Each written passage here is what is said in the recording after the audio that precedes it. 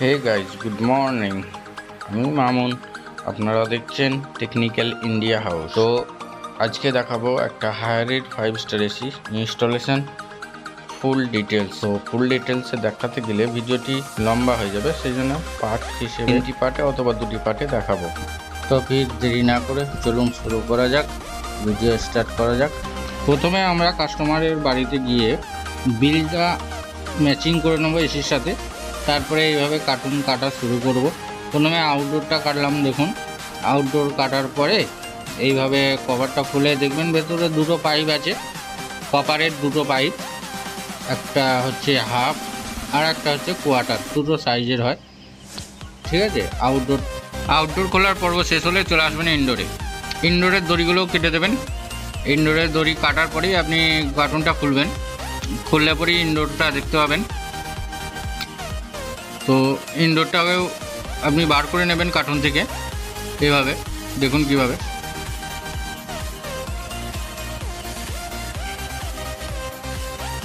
Indoor বেরিয়ে গেলে, ইনডোরের ভেতর দেখবেন যে একটা পলি ব্যাগের মধ্যে একটা রিমোট রয়েছে।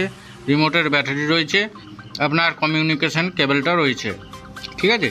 আপনার এইখান পর্যন্তই আপনার আনবক্সিংয়ের কাজ কমপ্লিট এবার আপনি শুরু করবেন। ইনস্টলেশনের প্রিপারেশান ইনস্টলেশনের প্রিপারেশনের জন্য আপনাকে যেগুলো লাগবে হচ্ছে, ওই আপনার কমিউনিকেশন কেবলটা লাগবে। আপনার কাস্টমারের কাছ থেকে বলে নিতে হবে, তিনটে জিনিস আপনি চেয়ে নেবেন প্রথমেই একটা হচ্ছে প্লাগ টপ যেটা কোম্পানি দেয় না। আর হচ্ছে আপনার ওই হোয়াইট সিমেন্ট যেটা আপনার ওই দেয়াল ফুটো করার পরে বোঝাতে কাজে লাগবে। আর রিমোট তো রিমোটের ব্যাটারি তো দেয় এখন কোম্পানি অনেক ক্ষেত্রে দেয় না।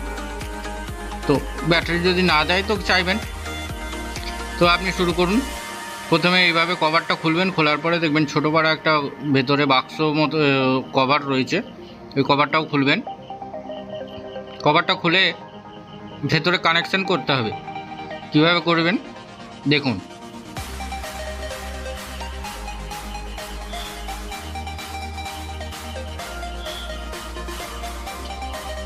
এটা ইনভার্টার রয়েছে, তো এখানে চারটি তারের কানেকশান হবে।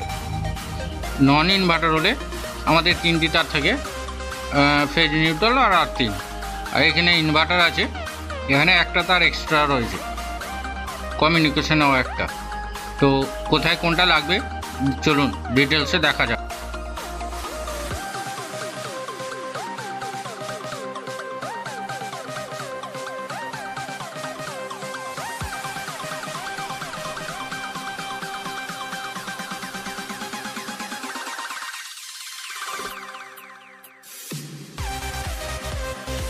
তার গলানো কমপ্লিট হলে, এখানে দেখুন চারটে কালারের তার আছে।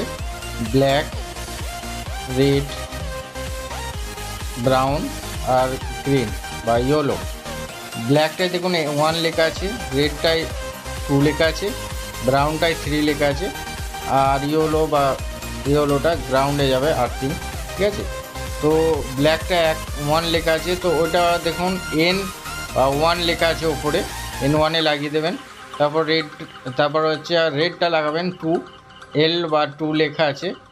এল টুতে আপনার হচ্ছে রেডটা লাগিয়ে দেবেন আর ব্রাউনটা তিন নম্বর লেখা আছে থ্রি লেখা আছে। তো ওখানে ব্রাউনটা লাগিয়ে দেবেন। এরপরে লাগানো কমপ্লিট হয়ে গেলে আপনি আর্থিংয়ের তার যেটা আছে ইয়োলো যেটা, ওটা এক সাইডে দেখুন সিম্বল করা আছে আর্থিংয়ে ওখানে লাগিয়ে দেবেন।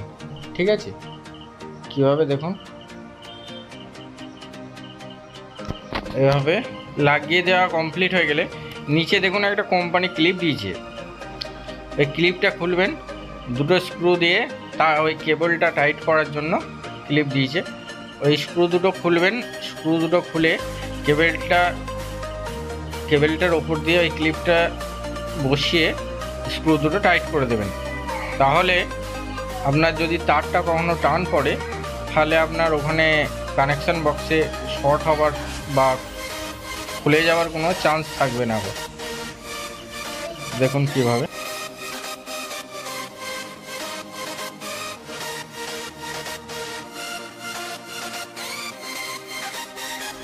এইভাবে কানেকশন কমপ্লিট হয়ে গেলে আবার যথারীতি আপনি ঢাকনটা বা আপনার কভারটা লাগিয়ে দেবেন ওখানে। একটা স্ক্রুপ আছে, একটা স্ক্রুপ দিয়ে কভারটা লাগিয়ে দেবেন।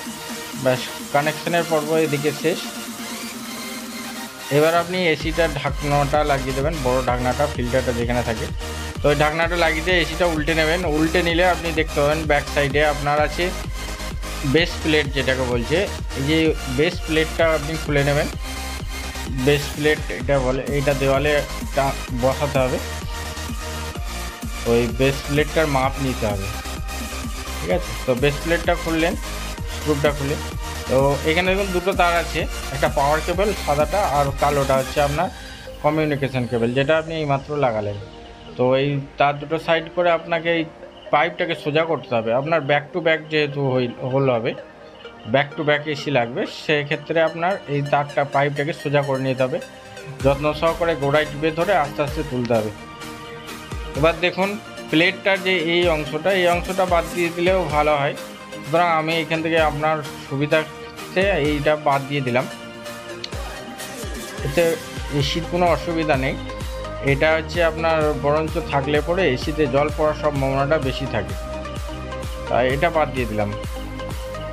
তো এভাবে এসির প্লেটটা আবার বসাবো, বসিয়ে আমি পাইপে যেখানে হোল হবে, পাইপটা বেরোবে, সেই মাপটা নিয়ে নেব। এখান থেকে প্লেট থেকে বেস্ট প্লেট থেকে কতটা দূরে আপনার ফুটোটা হবে দেওয়ালে, সেটা মাপ নিলাম। এসি থেকে ডান দিকে, বাঁ দিকে এসিটা কতটা প্লেট থেকে যাবে সেটার মাপ নিয়ে নিলাম। যথারীতি মাপ নিয়ে আমি প্লেটে লিখেও দেবো। এদিকে পাঁচ, সাত, এদিকে সাত। ঠিক আছে? লিখে দিলাম। এবার আমি এখানে চলে যাব এসি বসানোর জন্য। দেখুন, এখানে অলরেডি ফুটো করাই আছে। কাস্টমার আগে এসি বসিয়েছিল। তো সেক্ষেত্রে আমাকে ফুটোটা করতে হয়নি তো। ওই ফুটোর মাপেই আমি অলরেডি মেজারমেন্ট করে এসিটা বসালাম। প্লেটটাকে লেভেল করে দাগ দিয়ে দিলাম। কোথায় কোথায় স্ক্রুপ হবে। তো ওখানে ড্রিল করব। তো ভিডিওটা যদি ভালো লেগে থাকে, তাহলে অবশ্যই লাইক একটি করে যাবেন। আর যদি আপনাদের কোনো কিছু জানার থাকে, অবশ্যই কমেন্ট করবেন।